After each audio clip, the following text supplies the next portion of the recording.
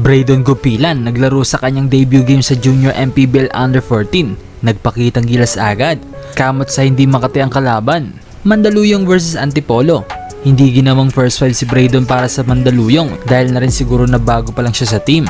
3 minutes ng first quarter, pumasok na si Braydon Gupilan sa unang pagkakataon. Lamang ng 2 points ang kalaban. Habang makakatapat naman niya dyan ang 6'3 13 years old ng Antipolo team na si Eman Simple. By the way, nasa 5'10 ang height ni Braydon at 13 years old din ang edad niya. Bago makabanat ng opensa, ipinakita mo na ni Braydon ang kanyang depensa sa transition offense ng kalaban. At exactly 1 minute ng opening quarter, pinukul na ni Braydon ang kauna-unahan niyang puntos mula sa beyond the arc. Pero Eman Simple kumana naman ng offensive boards at simpleng-simpleng nakakuha ang second chance points. Pagka-umpisa man ng second quarter, madaling tinirahan ni Braydon ng another 3-pointer ang Antipolo, baba sa dalawang kalamangan. Nag-uumpisa na mag-init sa 3-point area si Braydon matapos niya maipasok ang pangatong 3-pointer. Tuwang-tuwa ang mga commentator. Hindi na daw nakapagtataka kung bakit jersey number 30 si Braydon. I'm gonna guess why he's number 30, Joe. Bakit kaya? Bakit kaya?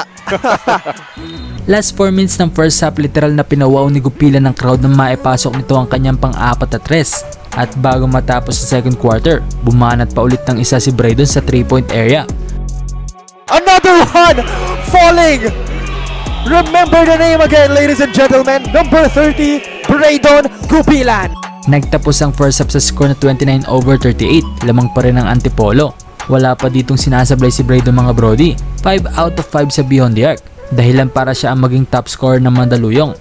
Pagdating naman ng third quarter, dito na nakuha ni Braydon ang kanyang unang mintis sa 3-pointer at nag-uumpisa na rin magparamdam si Eman Simple nang makaramdam na si Braydon na medyo nanlalamig na siya sa labas.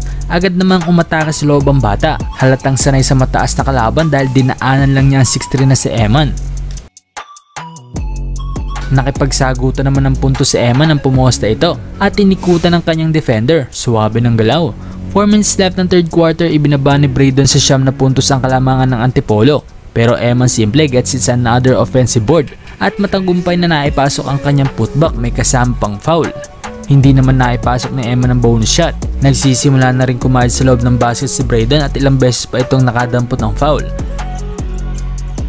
Meanwhile, it's Gupilan putting on the move, taking it inside. The team is complete. Everybody can tap The main guys not making the biggest noise.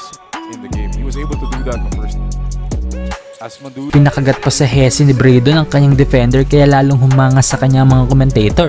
Inakala kasi nila na ma-shooting na stretch big lang si Braydon kaya hindi nila inaasahan na smooth din pala ang mga crossover moves solid din ang kanyang finishing ability. Nagtapos ang laro sa final score na 57 over 75.